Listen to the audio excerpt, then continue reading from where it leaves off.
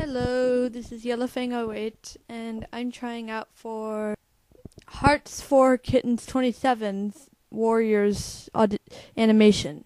I'm trying out for Lionheart and Whitestorm, but I can basically play any character you want me to. Alright, so here we go. Bye.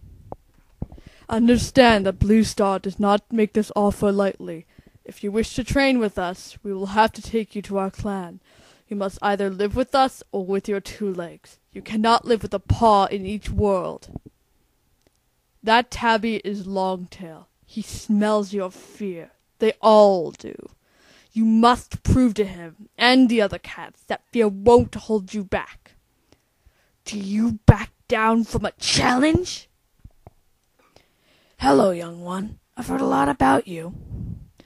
Clan cats always spend time grooming each other and sharing the news of the day. We call it sharing tongues. It's a custom that binds clan members closer together. He kept up well on the journey here, despite his tiny size. He certainly seems strong for a kittypet.